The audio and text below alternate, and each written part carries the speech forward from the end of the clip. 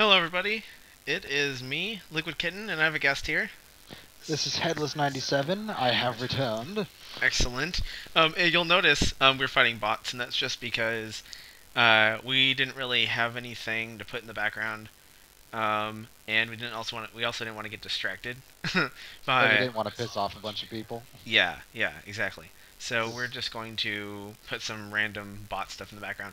You will notice uh, Shikigami-chan um, is not a bot. Um, they're not going to be joining us in voice chat because they're not part of the interview, but it is a buddy of mine and one of our subscribers.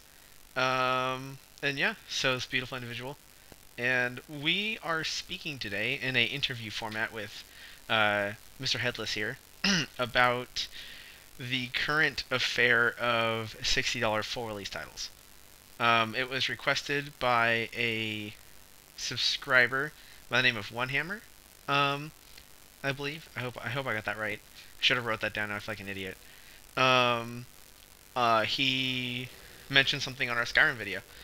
So Yeah, we never pass up a chance to rip on games. that is what we do. Um, I've also never played Vi or V before, so this will be interesting.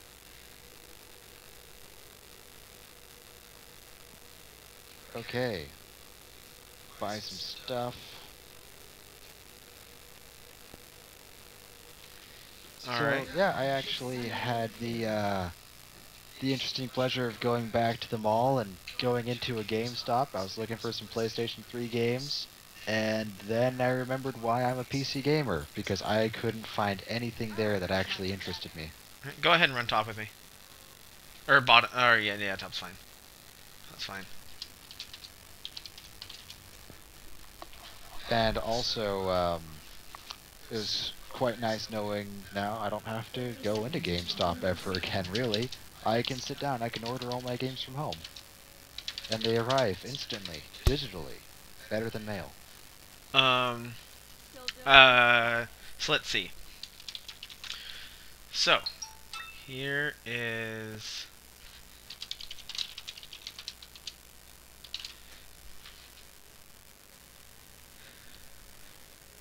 He sent GLHF over the phone to me.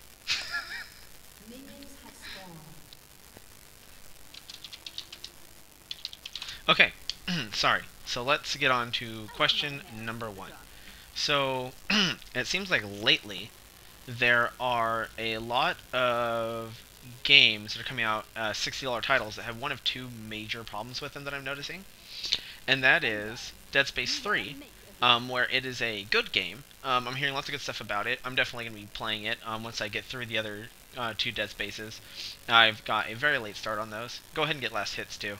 Um, and and um, what I'm noticing is in the industry there is a lot of problems where thank you um, where, where they're either releasing titles that are very buggy um, which I would see as obviously like a, a direct problem or they're releasing titles that are going for this I want to say Diablo 3-esque idea since I feel like they're the first big $60 title that has done this, where you pay for the game and then they give you a cash shop. And um, so I guess we should probably tackle this one by one. So go ahead and whichever one you whichever one you want to speak about first. Well, Diablo 3 came first with that, so I think that's really important to touch on. Uh, Activision likes to uh, likes to set examples for the industry to follow. I've noticed. Uh, Activision and EA are kind of the big ones with that. They did it with the online passes. So you know you had to put in uh, basically a CD key in order to access certain content of the game, just to prove that you actually bought it. Um, but when it comes to excuse me, It's all right. when it comes to buying a game and then having a cash shop in there, I really think that's the, the territory of free-to-play games. hmm You get the game for free and then you can spend money in there. What they're doing is they're trying to encourage people to not play the game. You know, basically life isn't about getting to the end. It's not about winning. It's not about finishing it or having the best. It's about the journey and the experience. And what you're doing is you are buying no experience. You're Yes. paying for the opportunity to not play the game that you just spent sixty dollars on. So I can't imagine why consumers would want to do it. Oop. But it, it- seems really counterintuitive to me from a consumer standpoint. Yes, and I agree. Um, would you say, um, real fast, just try to segue these together? Do you feel like that is the same kind of problem as having, um, y- total TotalBiscuit? I'm sure a lot of people uh, are aware of him. Uh, I, he had an opinion where he was talking about how, you know, when when a game is released, it should not have DLC right away. You know, obviously, because if they're spending time making the game, um, um, first day DLC shouldn't be anything but like cosmetics. You know, fun things, things that could be done while the game is, you know, being bug tested. Um, you know, while they're finishing up, you know, different assets, stuff like that. So like maybe while the game's being play tested, the sound guys can throw in, you know, like a, a funny little optional, you know, DLC you could get that changes the voice of somebody. You know, weird little things like that. Costumes from the graphic people. Um, would you say that releasing a full title game and then having content in the game, especially from launch that you have to pay for, is similar um, in the sense that it you're paying for a full game, but they're purposely locking you out of it? Or like, how do you feel about that kind of like? Do you think those are a similar kind of problem? Well, they are in a way a very similar problem. Anything that's made before the game is out should be in the game. I mean, there are some things like the art team doesn't really have much to do at that point, so they can get started on the next DLC. But that's not going to be done for a while. If they're taking something off the game to sell later, Mm-hmm. that's a big problem, and it happens. And people actually buy it. That's the thing that really gets to me. If they didn't buy it, it wouldn't succeed, and they wouldn't do it anymore. Yeah, pretty much. Oh. Uh, companies are releasing sixty dollar titles that are buggy and have problems, and they're only doing it more and more because people are still buying it. Yeah. Just like the uh, the sequel haven that we have right now, where all the popular games are sequels, Mm-hmm. we wouldn't have that if people bought original properties. Yeah, I definitely feel like 2012 was the year of sequels, and 2013 is looking like the year of trilogy. Yeah, definitely. But um, on the subject, yeah, it is basically the same thing. It's effectively double dipping, and it's worse when the game suffers because of it. I mean, if you can release a great game and immediately have more great content for it, that's one thing, and I might even be more forgiving of the idea. But the Mhm. fact that they're releasing broken, buggy games on an annual basis and then immediately charging more money to get more out of the game, I don't even have enough game to begin with.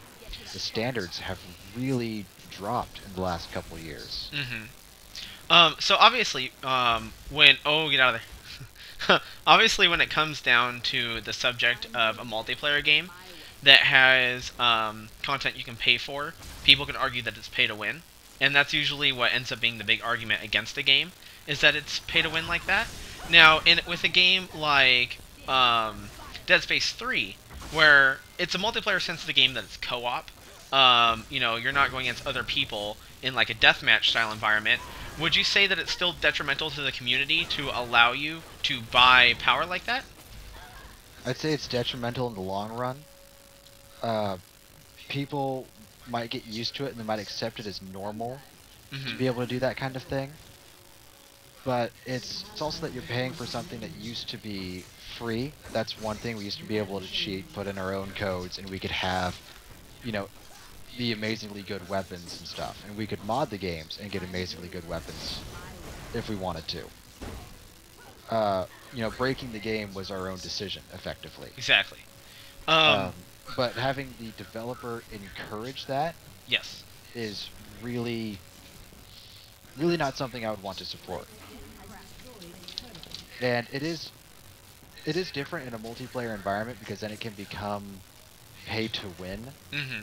But it is counter to the entire gameplay. I mean, if you're scavenging for items, you're trying to find the the best gear to move forward, or you know, in Diablo 3 when you're gathering loot, that's that's the game. That's what action RPGs have always been: is getting loot. Mm-hmm. Oh, that hurt. Yeah, I saw that coming. I was like, oh, red beam, that looks nice, and then I died. But, uh, you know, Diablo 3 has it both in single player and the multiplayer with the item shop because they're, they don't want there to be a difference between the single player and the multiplayer. I think it's part of them wanting more control over their game. You know, when it goes out to the community and they get modding coming in, they can't really control that. And I think they're trying to get that same amount of this is our game, we will play it our way in the single player game. So having the online passes so that you need to buy the game new and you need to go by their rules, etc. hmm That's one method, and also having the in-game item shops. It's another way they're trying to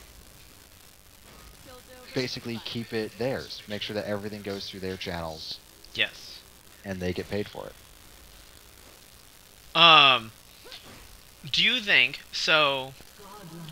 Um, jumping to the other side of the of the uh, question with the bugs, um, I've noticed that Assassin's Creed 3 seems to be a very bug-ridden game. Um, there, I there are a few channels that I watch that um showcase. Um, you know, comedic bugs and weird glitches and that kind of stuff. Um, and it seems like after Assassin's 3, as, after Assassin's 3 was officially released, a very large percentage of their videos have actually been bugs from Assassin's Creed. Um, now, obviously, nobody ever wants to buy a full game that is also buggy because you know you're putting money down and you're you're getting a pro you're getting a product you probably won't enjoy.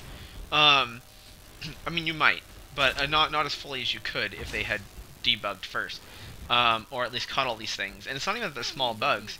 Um, most of them are graphic. Um, definitely, they're not like game breaking any in any way. Um, but altogether, I mean, they're annoying um, when when you come from a standpoint of wanting um, quality. Do you? I mean, I mean, I, I don't think you're going to be like, well, I think that's awesome because I mean, you know, uh, that's just It's, it's overall kind of obviously wrong. yeah, but I mean, how does that make you feel? Like, what what do you think is going on in the industry that's causing games to come out like this? Do you think that it is um, a pressure to release things fast, um, or do you think that it is more of a problem of companies nowadays? Just maybe.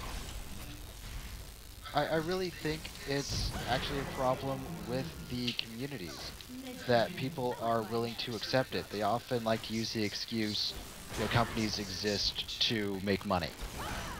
That this is okay because the company is just trying to make money, Mhm. and this is a way to do it. Yes. As if the ends justify the means in that regard. And really, they don't. People should have very high standards, especially when we're talking about companies that know nothing about games and don't care about them. They listen to their market researchers and their investors. hmm That's what they know. That's what they care about. They don't care about the actual quality of the game. So they will release something on an annual basis because it sells more copies every single year. Why would they ever stop?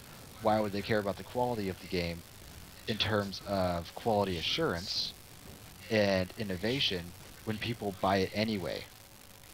Yes, I think that's definitely a problem when you look at. Um, I, I would argue that um, Square Enix is falling into that a little bit with Final Fantasy 13. You know, um, they released a bad game. Uh, a lot of people would agree that Final Fantasy 13 is not good, especially when you compare it to the rest of the IP and the franchise and how all those games were. Yet, obviously, they must have sold enough to warrant them continuing to make it.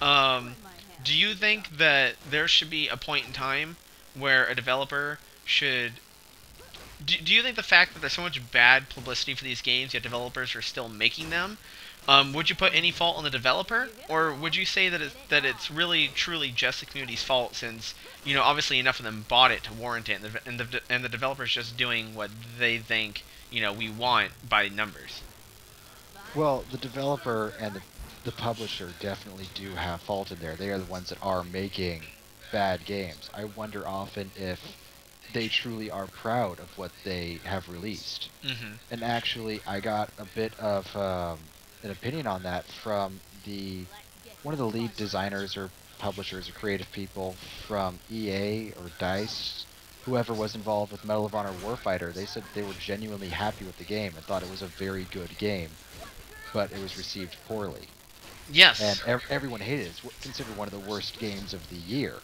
by so many people. hmm So, I mean, I don't know if Square Enix genuinely thought Final Fantasy 13 was a great game. I understand that it's like a 60-hour campaign that ends on a cliffhanger, which isn't exactly appealing, and that they intended to sell story-based DLC. I think you should end the story if you put that much time into it. Yes. Um, one thing um, that I think is pretty ridiculous is if you remember um, with um, Mass Effect 3, where um, it wasn't endgame. Um, it wasn't. Uh, they wanted you to buy more storyline stuff later, and I have noticed that quite a bit. Um, although it's usually with games that are less story driven, um, arguably in the sense of you know like Borderlands or um, things like that. I think Dishonored plans on doing something similar though. Um, they they they plan on releasing storyline DLC later.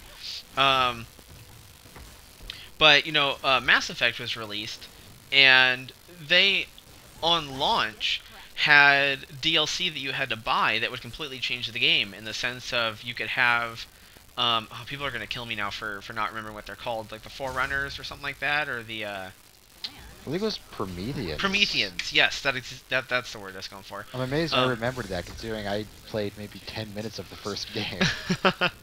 um, yeah, which which is which is quite funny because I played I played a lot of uh, a lot of that game. Um, but yeah, I'm sorry, I got a little distracted for a second there. Um, yeah, trying I'm, to make I'm sure I trying to figure out this character and commentate at the same time. For those of you who don't know, I just kind of got into League of Legends. I haven't spent any actual money. I'm still trying to find characters that I like, and though I have characters that I like, I'm kind of hell bent on not spending money because. I'm cheap. I'm going to try to build up enough in-game points to actually buy someone. But that's going to take a while because all the guys I like are really expensive. Luckily, doing random crap like this though is going to help you do that. Which is one thing I do like about League of Legends is I feel like they're really fair um, with their model in the sense that even if you just want to dick around with some friends fighting bots and stuff, they still don't, you know, they still don't mind giving you points for it. It's just not as much as you would get if you were um, playing the game with people.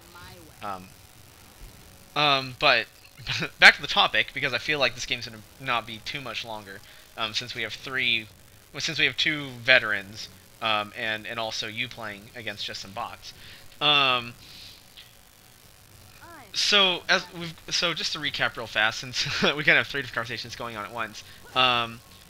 You know, obviously, uh, no argument. Games being released in these in the in these buggy states is just not good, and it's a sign that, um, you know, as as players, we need to, um, or as consumers, I should say, um, we should probably, I would say, wait until first impressions, um, videos, and you know reviews come out, and not not the ones that come out immediately. But you know the ones that come out, you know, a little while after launch, um, you know, like the YouTube interview, um, the YouTube reviews and stuff like that, because they will bring up bugs. Um, you know, don't go to just big sites like Metacritic and stuff like that that um, can easily con- be convoluted, um, and just look at their day one scores and then go, all right, well, you know, obviously buying it, that's good, um, or this is a bad game, I'm not going to buy it because it can be all kinds of messed up in that game. Um, or in in that uh, in that review, but the the point um, we you know we came down to was that overall this is just bad business practice. Um, and that it's the consumer and the publisher and the developer's fault all together. We all need to work together to stop games from coming out like this by stop buying titles at $60 release um, after we hear bad things about them. And the the eh, the um, Alien Colonial Marines thing has been the biggest. Um, most people pre-ordered it, and they're still pre-ordering it, I believe. Um, but supposedly it's supposed to have a lot of stuff wrong with it. Sadly, I don't know too many details on this subject because it's just recent information. But supposedly that game's getting railed pretty hard for just having issues. Um, and a bunch of people have, you know, have already bought it, and I believe it's a March release. Um, Actually, um, I know that Aliens Colonial Marines is out. It was one that initially I was excited about, and then they had a gameplay trailer, which solidified the fact that I don't want to play the game. mhm. Uh, Oh, because it okay. really generic. Okay, well, I'm glad you brought that up because I was a little confused. For some reason, I thought that it was being released next month and all kinds of stuff. Um, uh, is that also the game that? And this is just overall wrong. I'm just gonna bring this up to, to name and shame a company.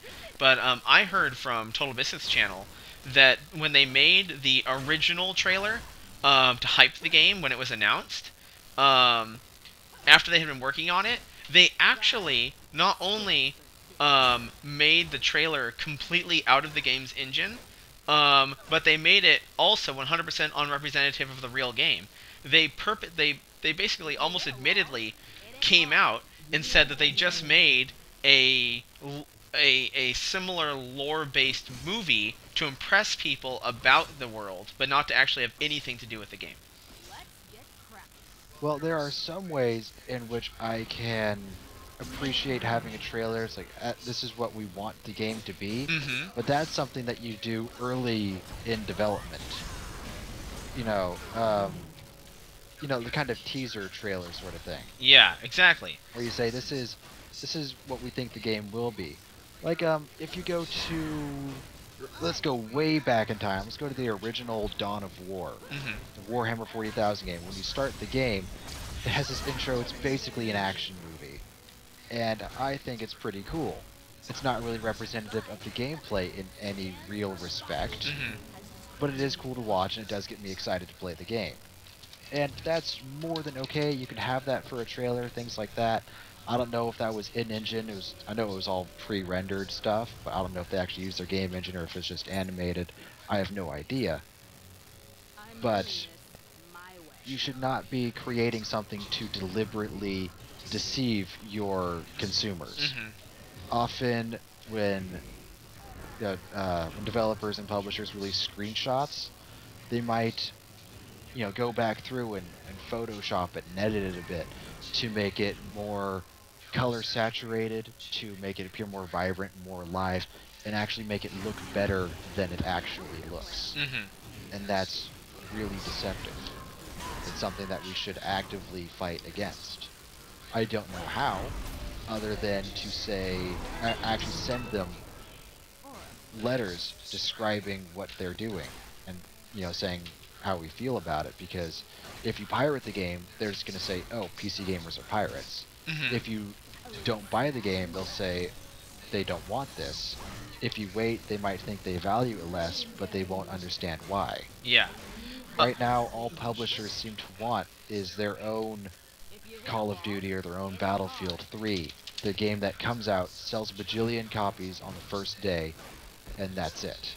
I I feel like um the whole pirating and um peace and no love for PC thing is kind of a self fulfilling um thing in the sense that um people I don't know what started it. I mean, I'm sure people have been pirating for a long time, but I mean, I don't know what game started the big pirate fiasco, or if it was a game, or or exactly what originated it.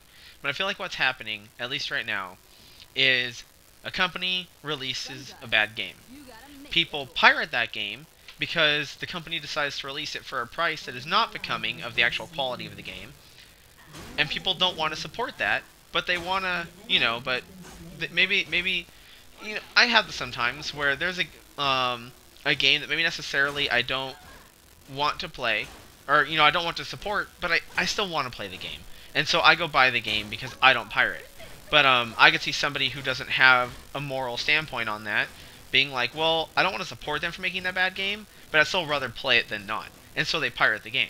Then the PC community turns around, or um, the, the, the PC developer, the studios turn around and they go, well, look, we released the game and people bought it, but uh, like a bunch of people, a bunch of people pirated it.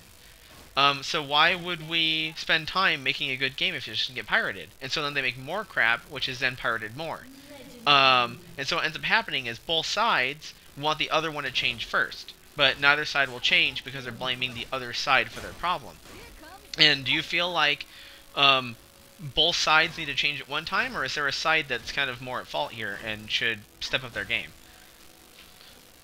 Well, I also don't really know the origin. I know there came a point in time when developers and publishers decided that the piracy had reached such a rate, such an amount that it wasn't worth it. That they need to start putting in DRM in order to make a profit from their games.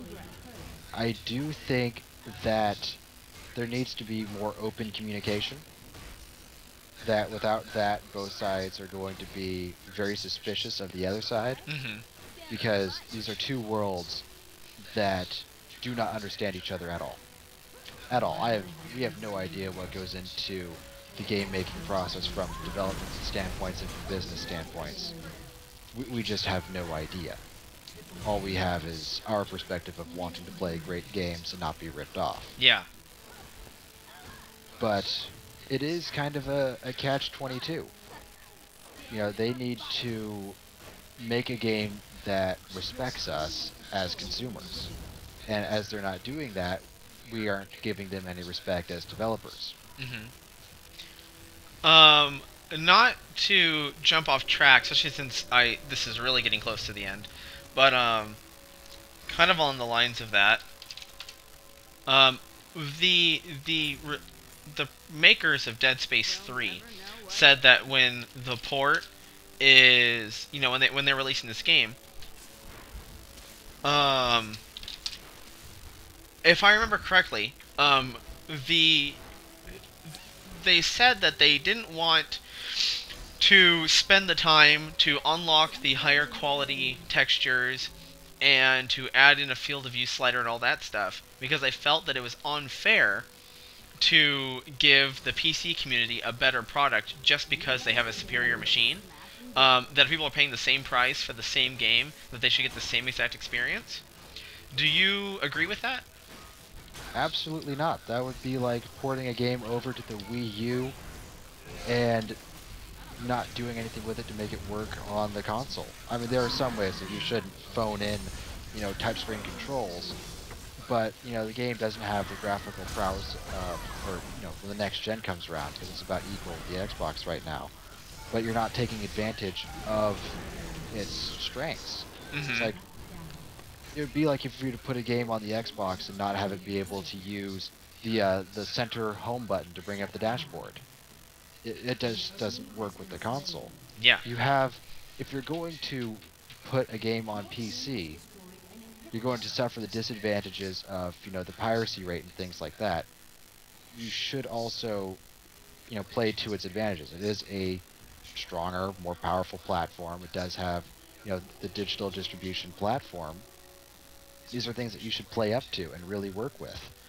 You can make a game better. It, I think, I think it was TotalBiscuit who was talking about it, who really said it best. And you compare it to uh, the generation gap in consoles when a new console comes out. The game Gun is an old Western shooter kind of game. It came out both on the Xbox and the Xbox 360. And it was a better game on the Xbox 360 because they were using the graphical prowess of the console. I think I remember him mentioning that. Yeah, that he had bought it previously on the older console, and then when he realized it was on both, he bought it again on the 360 and thought it was amazing, and it actually caused him to um, to enjoy the game more. And other games that have gone backwards, like when the Xbox 360 and PS3 became more prominent and the PlayStation 2 was still around and games would be ported back down to it, that those games had disadvantage. They weren't as graphically intense. They didn't have all the nice features that the higher end version had. Could you imagine if they had toned it down so that the PlayStation 2 owners could get the same great experience as people that own the Xbox 360 and the PlayStation 3? Yeah, That they kept it at PS2 graphics levels so that they would all get the same experience? They wouldn't do that. I just see that as a lazy excuse. hmm A really lazy excuse. I I agree on that completely. Um, we might have to. I know you have some stuff going on today, so you might have to um, do like a second part of this when there's time.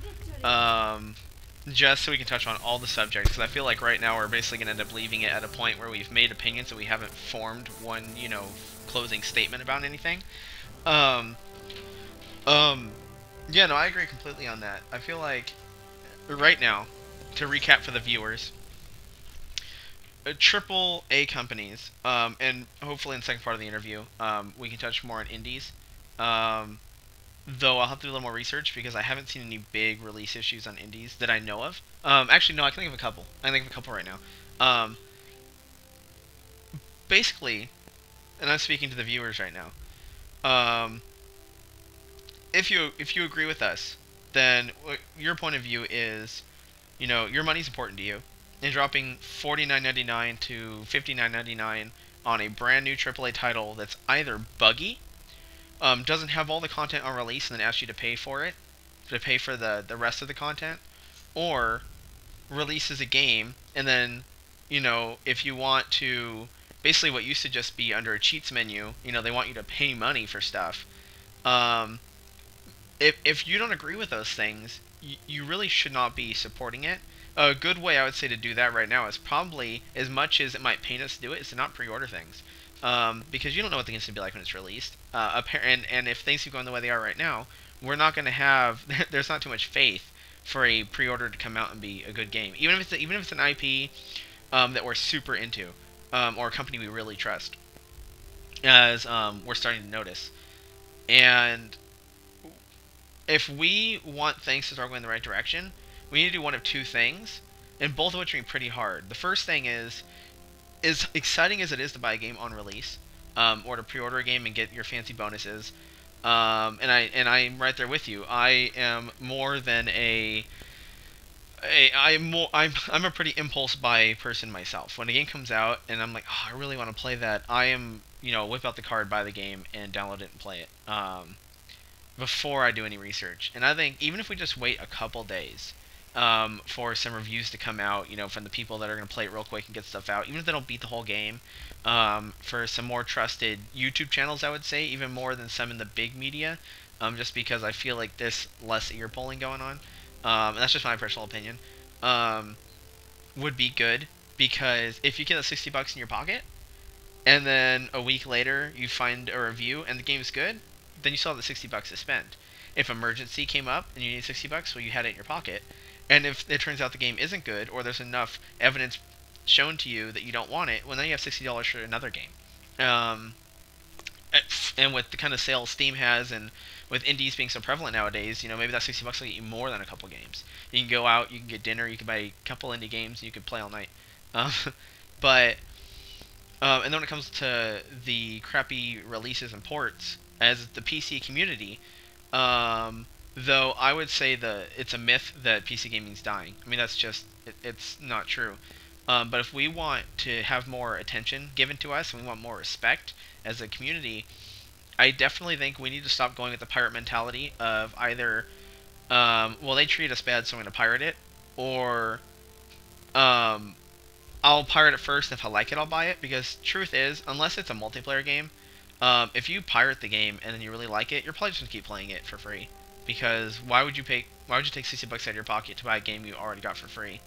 Um, honestly. It's just, uh, I mean, even if you have good intentions, it's just really easy to fall into that trap of, well, I already have it.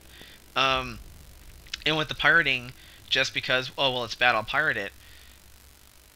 As much as I'm pretty sure they can't get, like, really official numbers, how many copies have been pirated, it's not hard um, with how verbal, verbal people are nowadays for how much they don't like a game and how they pirate it and everything, them to at least get an idea of whether it's a game that's being highly targeted or not and that's going to drive them away from us. And all we're going to have is bad ports um, and no attention. And then one of us has to budge. And sadly, I doubt it's going to be a developer, at least not a big one. Um, that's just. I feel like to show that we're a mature community, and I've noticed that when I play on a console, there are lots of children on consoles. Um, compared to PC by far. Um, especially, I mean, Call of Duty is I think the biggest example of that. Playing that with a microphone on a console, you, you get kids all the time. Constantly, you get children because their parents can just pop them in front of it and it babysits kids for them. Um, whereas on the computer, no one's gonna go out and you know buy a really expensive computer just so their kids can play Call of Duty on the best settings. Um, so long story short, um, and Headless can obviously talk um, in just a moment uh, we need to take the first step because big businesses aren't going to do that for us. Um, and I will return in the next segment. And Headless, if you have any closing statements. Well, when it comes to buying games on release, last time I did that, we're going way back in time to kind of early mid uh, previous generation era. So we're talking like 2003, 2004. Mm-hmm. Um, it was the Star Wars Rogue Squadron series, and the first game on Nintendo 64 was fantastic. Yes, Rogue I love Leader, that game. Rogue Leader came out on the GameCube, and it convinced me to buy the console. That's how much I, I fell in love with that game. So when there was going to be a third game announced, and the entire second game was going to be playable in two-player co-op, I didn't even think about it. I just laid down 50 bucks on the game, because there's no way that they could screw it up. And they did, epically. They had horrible third-person segments. The enemy AI was dumber than ever before. The whole game was really slow and really boring. And the co-op campaign for the previous game wasn't worth it. I'd rather just play the other game on my own. I don't have to worry about getting a co-op partner or anything like that. So after that, I decided I was never going to spend 50 bucks on a game again. And the only time I ever did spend more than 30, which is my limit, was to get Skyrim, which ultimately really disappointed me. I know a lot of people really love it. It just wasn't my thing. But developers and publishers really do understand money. That's you know that's a, a pretty strong motivation for them. You know they spent all this time and effort and money getting the game out there. They'd like to see something in return. But when you go out and you steal a game, what they're seeing is they want to play the game, they just don't want to pay for it. So that's part of why we're seeing free-to-play models come up, and then they have to bend the game to make it work in a free-to-play setting.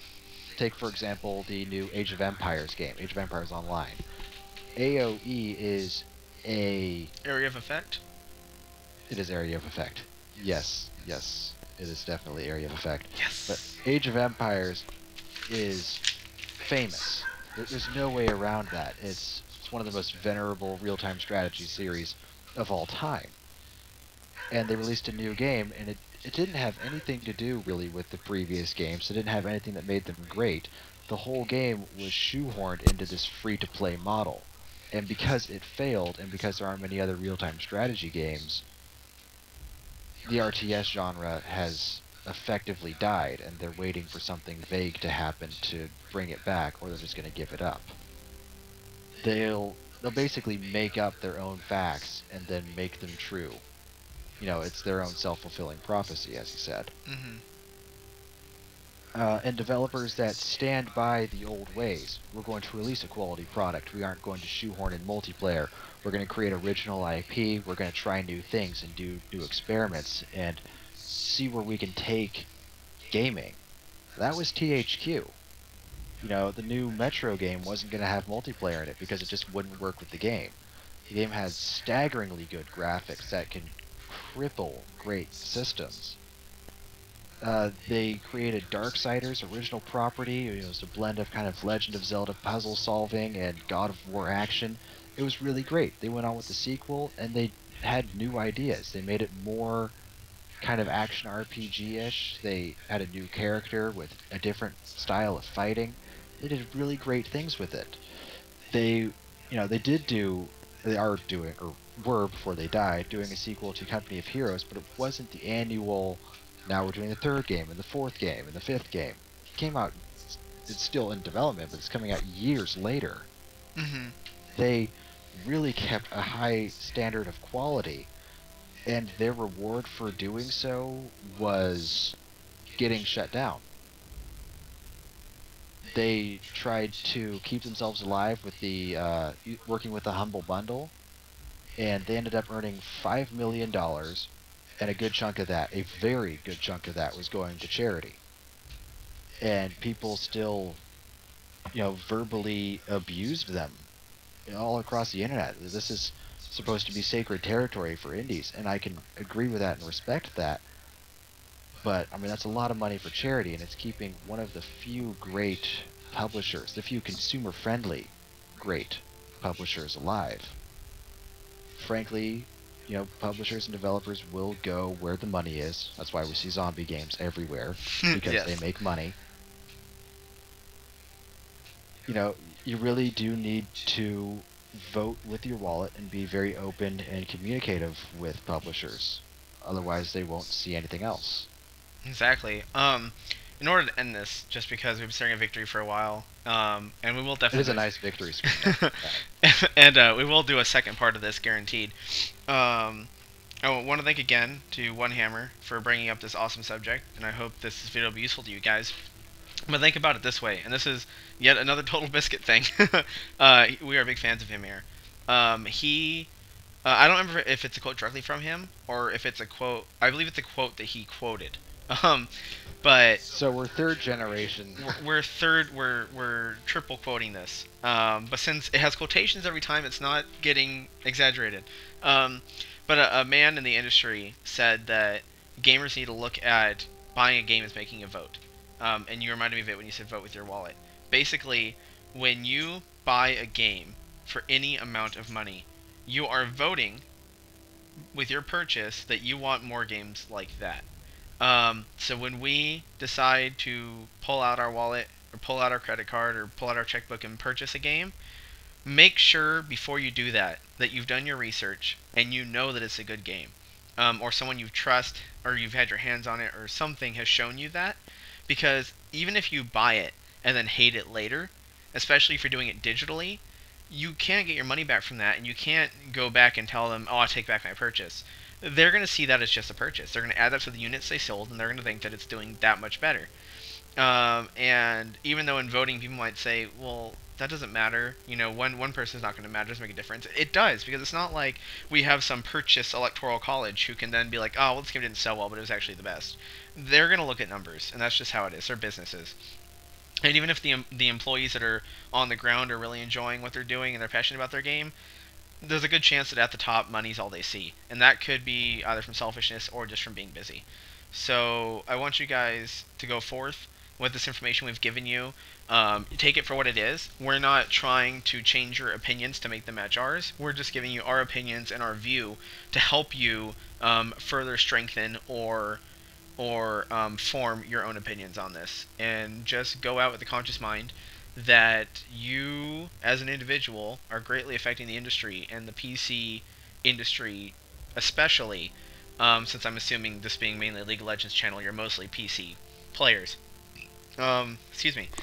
Well I hope you guys are having a good day and that you're enjoying your time. Just have fun gaming but uh, make sure to game responsibly. It's again this was uh, this is me LiquidKitten All right, this is Headless97. and we will be back soon